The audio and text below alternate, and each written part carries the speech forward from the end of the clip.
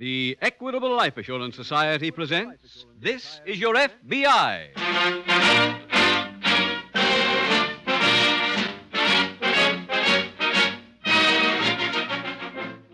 This is Your FBI, the official broadcast from the files of the Federal Bureau of Investigation.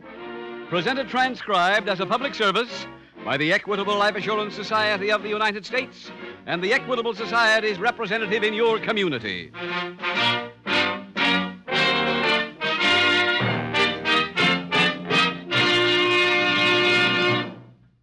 Most people we know have strong opinions about radio commercials. If you're that way, we'd like your opinion about the middle commercial on this Equitable Society program. It deals with the Equitable Education Fund, the painless way to pay for your boy or girl's college education. See if you don't agree that this commercial is sincere and straightforward and packed with helpful information. See if you don't agree that it performs a real service for parents who are concerned about their children's future.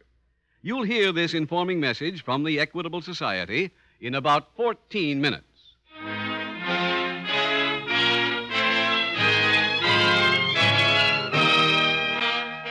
Tonight's FBI file The Phantom Bandit.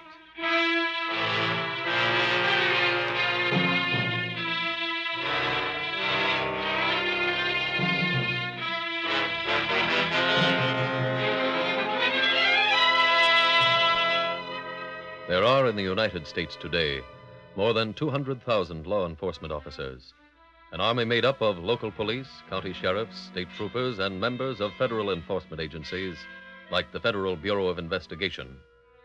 They fight a never ending 24 hour a day battle against the criminal population of the country. And while there is little hope that crime will ever be completely eradicated, there is great hope that it can be controlled, controlled more than it is today. That is not a utopian dream, for it can be brought about, can be attained in one single way through the complete cooperation with law enforcement of you, the decent people of America, of every one of you, for the common good.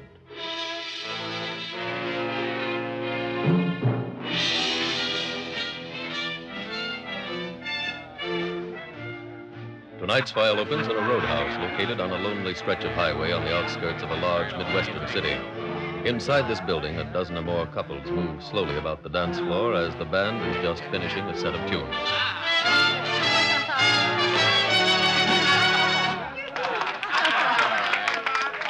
After the scattered applause, the dancers drift back toward their Well, table. we better think about going home. Home?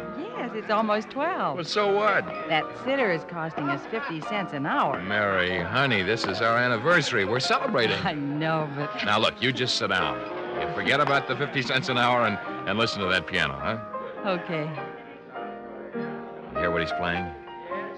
Uh-huh. And let's just hold hands and listen, huh? Okay. Hey, What? that man over there. Who? That one, sitting sitting with the guy who runs the place. He looks just. Hey, Mary, it's him. Well, what are you talking about? Did I ever tell you about that bank holdup? You mean when you worked in the bank at Spring City? Yeah, yeah, he- he's one of the holdup men. Sure. I'm positive. He's the man who handed me the note demanding money. Well, what can you do? I don't know. You mustn't go near him, Ralph. If he is the man, he'll have a gun. I know, honey. I'm not that brave.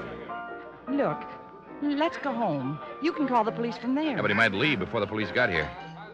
What else can you do? I, I could call from here. Oh, no. He's friendly with the man who runs the place.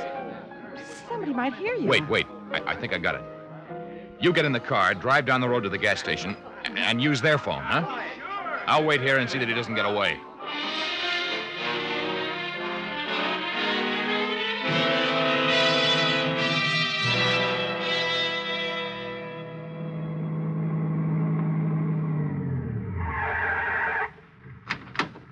Hey, Bud.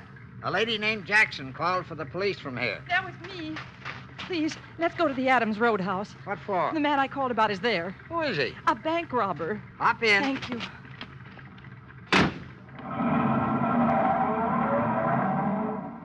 This is Lieutenant York. Hello, Mr. Jackson.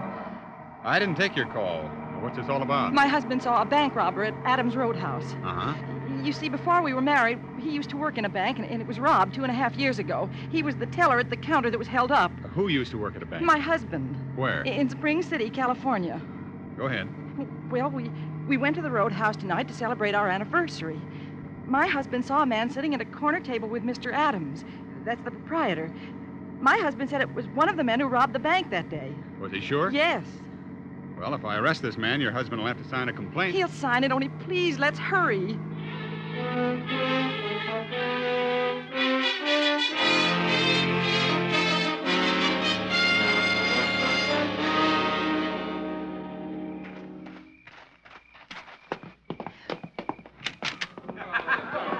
Go ahead, Mr. Jackson. Thank you. Where's your husband sitting? Over this way, come on. That's the table, right? Oh, What's the matter? he, he's not there. You sure it was that table? Oh, yes. Well, there's a waitress. Let's check with her. Uh, miss, Yes, sir. uh, there was a man sitting at that table. Do you know where he went? No, sir. Is this your station? Yes, sir. Uh, Mrs. Jackson, was she your waitress? Well, I, I don't remember. Would you like a table? No, thanks. Uh, that other man, the, the one your husband saw, where's he sitting? He's over at that. He's gone too. Well, look around the room. You spot either of them? Let's see. No. How about the bar? Bar? Over there. Oh. No. Officer, something's happened to Ralph. I know it. Now, take it easy. But he said he'd wait here for Hello me. there, Lieutenant. Oh, hello there, Adams. Mr. Adams, what have you done with my husband? Your husband? About 20 minutes ago, we were both sitting at that table over there, and we saw you talking with a man who was a bank robber. Lieutenant, uh, what's this all about? You were sitting and eating with him. I'm afraid you're mistaken. I went out to call the police while my husband stayed here. Now he's gone. They're both gone. What have you done with Wait a minute, wait a minute. Let's get this straightened out right now. I haven't sat with anyone all night long. But you were sitting And I there- don't know where your husband's gone. But you saw us here tonight. Lady, you couldn't have been here tonight. I never saw you before in my life.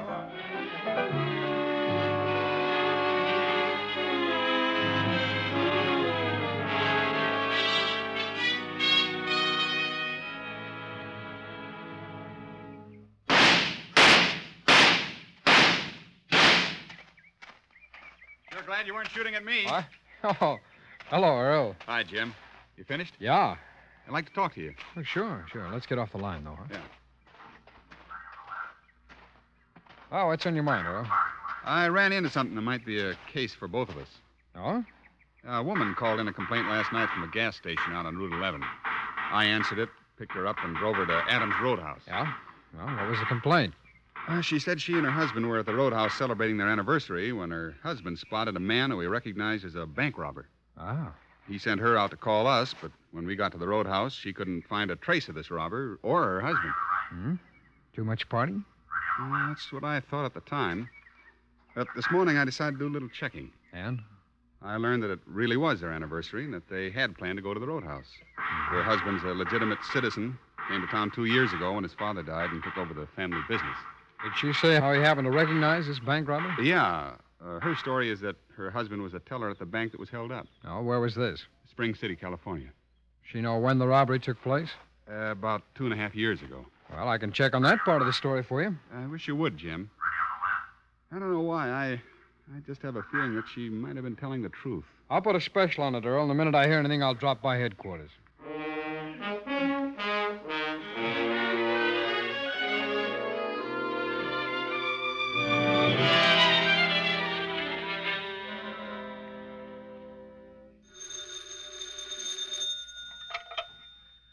Hello? Corby, Yeah. this is Adams. I thought you were going to call. Oh, I've been sleeping. Since last night? Yeah. What about that Jackson guy? He's here. Alive? I think so. I got him tied up in the other room. I ain't looked in there for a while, though. What do you figure on doing with him? And I've been sitting here trying to decide whether to knock him off or not. I'll call you back when I make up my mind.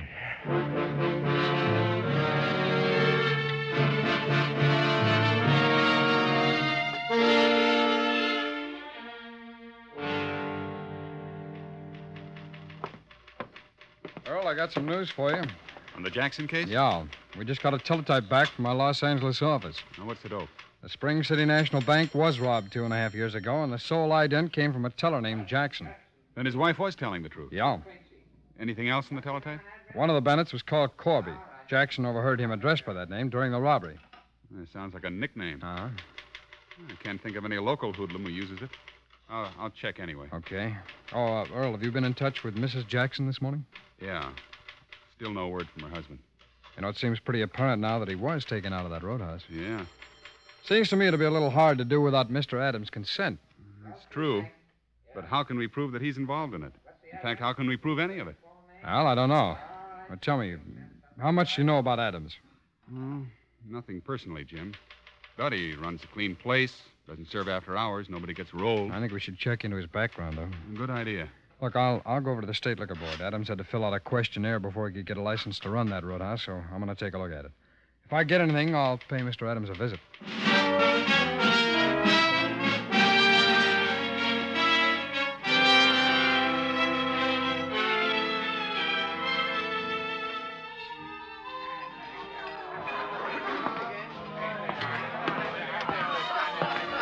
Mr. Adams? yes, yes, that's right. I'm a special agent of the FBI. Here are my credentials. Well, sit down, Mr. Taylor. Uh, have a drink? No, thanks. All I want is some information. all right. Uh, what can I do for you? I came to find out what happened to a customer of yours who disappeared last night. Oh, not that again. Yeah. What can you tell me about it?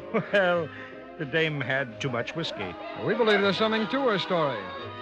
Now, look, Mr. We Taylor. checked up uh, on her husband. He was a bank teller two and a half years ago when a bank was robbed. Well, so what? Adams, do you uh, know anyone with the nickname of Corby? No. You're not telling the truth.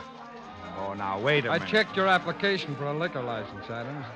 You put down Homer Falls as your birthday. That's right. Well, I wired the Homer Falls police. They tell me you've got a record. Look, mister, that was one local pinch when I was 19 years old. You don't have to defend yourself. The only reason I'm interested in your record up there is that you were arrested with someone named George Miller, whose nickname was Corby. That was years ago. Nevertheless, you are linked with him. What are you driving at? Well, Mr. Jackson, the man who saw this bank robber here last night, testified at the time of the stick up that one of the bandits was called Corby. So? So I think he's the man who was here with you last night. And when you found out that Jackson had recognized him, you and this Corby got rid of him. That's quite a story. Where did we take him? I don't know. Where is he now?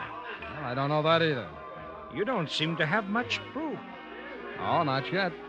Look, you're wasting my time. Come back when you really get a case. Thanks, Mr. Adams. I will.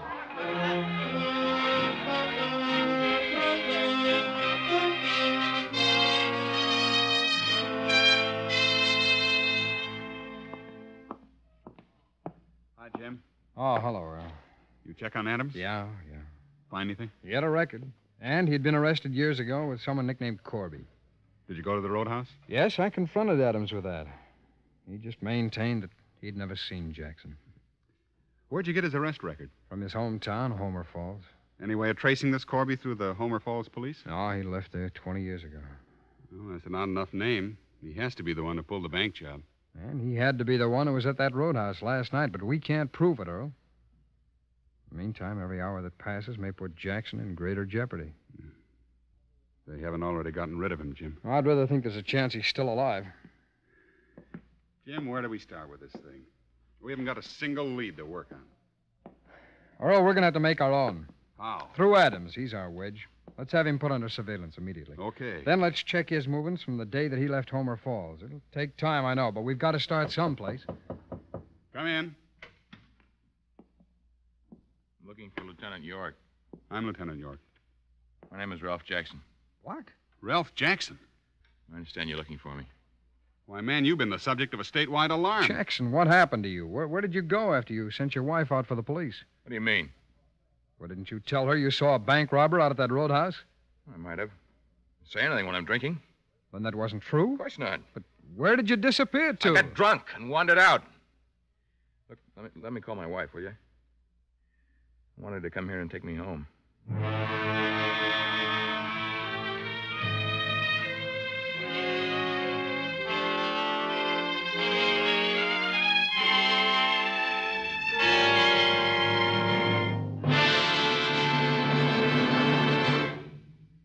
We will return in just a moment to tonight's exciting case from the official files of your FBI.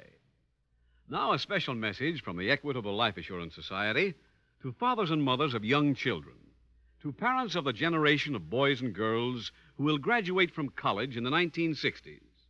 Imagine how pleased you'll be in 10 or 15 years from today when that youngster of yours writes, Dear Mother and Dad, these years here at college have been wonderful. The things I've learned and the friends I've made will mean. After those four vital years, your boy or girl will face the future with far greater confidence for three very good reasons. First, college men and women earn more money. This morning, our employment counselor told me that college men actually earn $72,000 more during their working years than the fellows who miss out on this opportunity. Second, college men land the bigger job. He also said that out of every 16 men earning $10,000 a year or more, 15 are college grads. Third, college men get more out of life. They gain an all round culture, an appreciation of the arts and literature that means even more to them than their increased earning power. So, Mother and Dad, it's up to you. Up to you to give your children the chance they so richly deserve. Up to you to make their education sure with an equitable education fund. An equitable education fund? What's that? It's the painless way to pay for your children's college education. In this Equitable Society plan, you start when your children are young. Then, each year, you pay a sum of money that doesn't hurt, an amount that scarcely makes a dent in your budget. When your youngster's ready for college, the money's all ready for him. Well, that's spreading the cost of education over 10 or 15 years instead of taking a beating in four. Right. Now, suppose the father dies or becomes totally disabled. Then no more payments are necessary. The fund becomes fully established. When the youngster is ready for college, he gets the same education as if his dad had lived. So don't delay a day longer. Let your Equitable Society representative show you how little it costs to start an Equitable Education Fund. Or write care of this station to the Equitable Society. That's E Q U I T A B L E. The Equitable Life Assurance Society of the United States.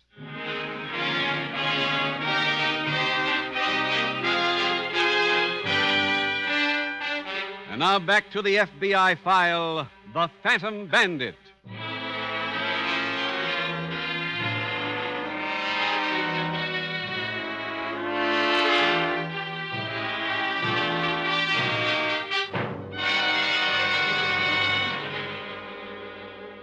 Connection with tonight's program, we bring you a message from Mr. J. Edgar Hoover, Director of the Federal Bureau of Investigation.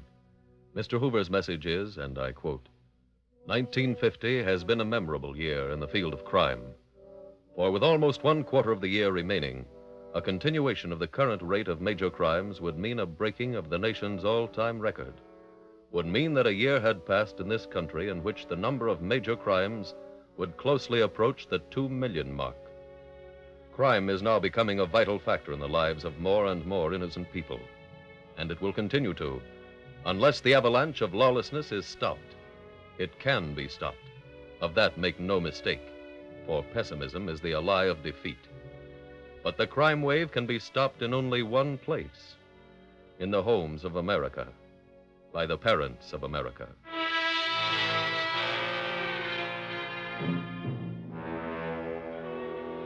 Tonight's file continues at local police headquarters. Come in. Oh, hello, Mrs. Jackson. Hello. Did you talk to your husband? Yes. What happened? He told me the same story he told you. Well, we don't think it's true, Mrs. Jackson. Do you? Well, look, he, he's waiting out in the car for me. I want to take him home. You haven't answered my question. He's my husband, Mr. Taylor. I've got to believe him. Will you excuse me? Yes, certainly. Oh, I I do want to thank you for all the help you gave me. That's okay, Mrs. Jackson. Goodbye. So long. Well, Jim, how long since you've been on a case like this one? I can't remember. I wonder why he's lying. Well, that's something we've got to find out, Earl. This case is still open as far as I'm concerned. You mean finding Corby? That's right. Did you get that teletype off to Washington? Yeah, and if I get a quick enough answer, we might still find out why Jackson told that story.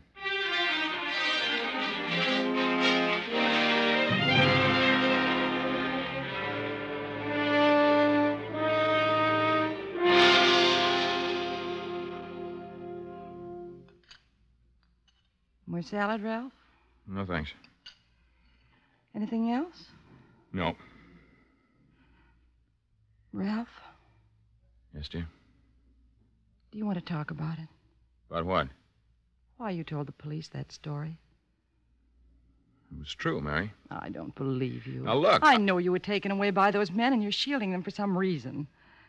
Now, what is it? Ralph, you've got to tell me.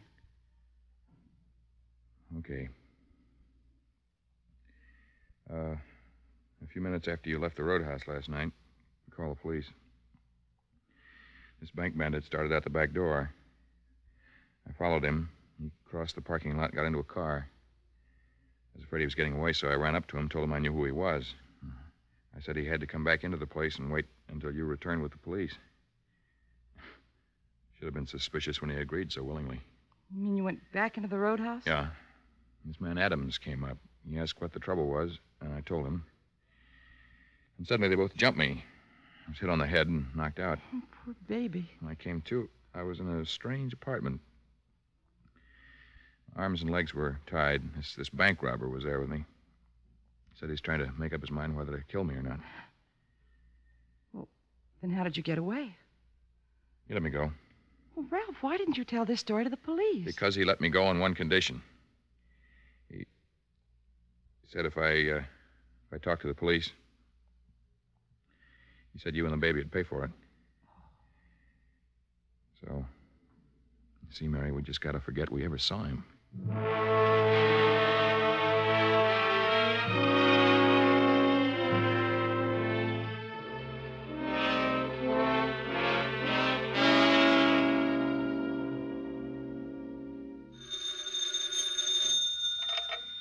Adams speaking. This is Corby. Oh, hello, Corb. Look, can I call you back? There's a couple of liquor salesmen waiting for me. Let him wait. This'll only take a minute. Got a little business I want to talk over with you. All right, what is it? How would you like to buy me out? My half of the roadhouse. How much? What I put in it? Seven G's? Well, I don't know, Corb. Business hasn't been too good. Don't give me that. I know how business is. Now, look, kid, you've established yourself as a legitimate guy around this place. If anybody finds out I'm your partner, it might not be too good for you. Is this a shake? No, I just need folding money. I'll take seven G's and I'll take it in cash. What do you say? Well, the bank's closed pretty soon. You've got time. Get me the money and bring it over here.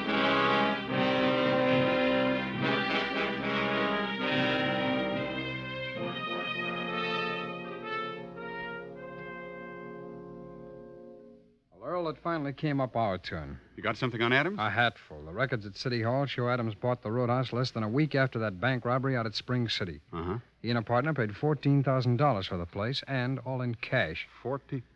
That's the amount that was stolen. Exactly. And you haven't heard it all yet. According to the bill of sale, Adams' partner was a man named Joe West. Joe West. I don't think I Here, ever. take a look at this. Huh? That's Corby's complete record from our files in Washington. George Miller, nicknamed Corby, also known as George Morton, Joe Morton, Joe West. Uh-huh. How does that sound? Real nice. But, Jim, if Corby has had a half interest in the roadhouse for these last two and a half years, where's he been? Look at the last notation on the record. At the bottom there. Carson State Prison. Ah, seems he went out and did a job solo. Oh, is that the information from the bank? Yes, Mr. Taylor. Thanks very much. Uh, let's see. Hey, Earl, our friend Adams withdrew $7,000 in cash just a half an hour ago. That's half what they paid for the roadhouse. Yeah.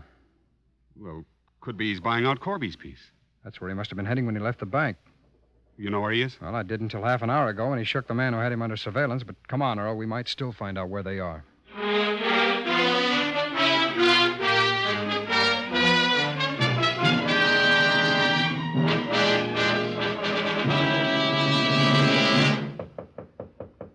Is it?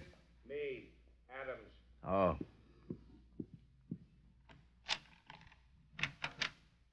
Come on in. Okay. You get the dough? Uh huh.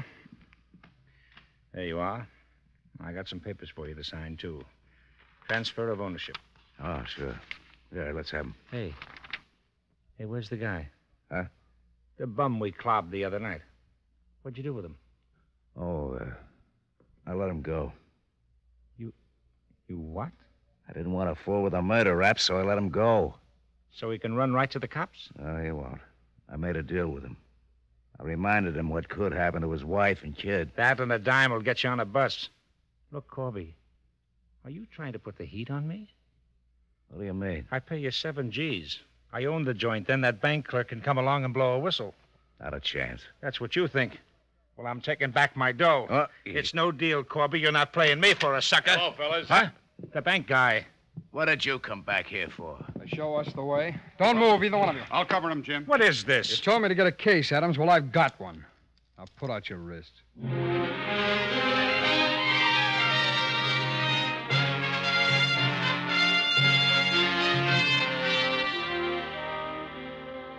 George Miller and Harry Adams were tried and convicted in federal court on a charge of bank robbery, and each was sentenced to serve a term of 20 years in a federal penitentiary. Special Agent Taylor and Lieutenant York arrived at the furnished room of George Miller, nicknamed Corby, because they were able to convince Ralph Jackson to break his silence and to reveal where he had been held captive. The capture of George Miller and Harry Adams, two and a half long years after the commission of their crime, is proof once again that nobody gets away with anything. True, a criminal might break the law and enjoy freedom for a while, but the machinery of law enforcement is merciless and relentless in its quest. Sooner or later, the net will close, and with it will close the career of the criminal, of our common enemy.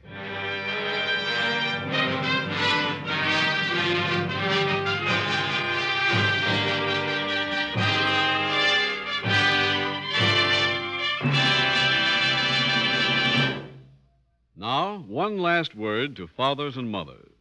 Of all the things you can do for your children, there's no greater proof of your love for them than an equitable education fund. They'll be grateful for it as long as they live. Your boy or girl may only say a few words like, Thanks, Mom. And thank you, Dad. but you know from the look in his eye and the ring in his voice that he'll never forget your foresight in starting an equitable education fund. Right now, make that wise resolution to see your equitable representative soon.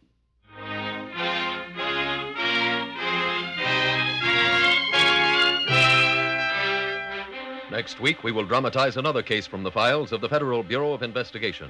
File number 289. Its subject, Jailbreak. Its title, The Dark Journey. The incidents used in tonight's Equitable Life Assurance Society's broadcast are adapted from the files of the Federal Bureau of Investigation. However, all names used are fictitious, and any similarity thereof to the names of places or persons, living or dead, is accidental. Tonight, the music was composed and conducted by Frederick Steiner. The author was Jerry D. Lewis. Your narrator was William Woodson, and Special Agent Taylor was played by Stacy Harris. Others in the cast were Betty Blythe, Lamont Johnson, Wally Maher, Edmund MacDonald, Ken Peters, John Sheehan, and Gene Tatum. This is Your FBI is a Jerry Devine production. This is Larry Keating speaking for the Equitable Life Assurance Society of the United States and the Equitable Society's representative in your community, and inviting you to tune in again next week at this same time when the Equitable Life Assurance Society will bring you another thrilling transcribed story from the files of the Federal Bureau of Investigation The Dark Journey on This Is Your FBI. Stay tuned for the adventures of Ozzie and Harriet. There's fun for the whole family when Ozzie and Harriet come your way next.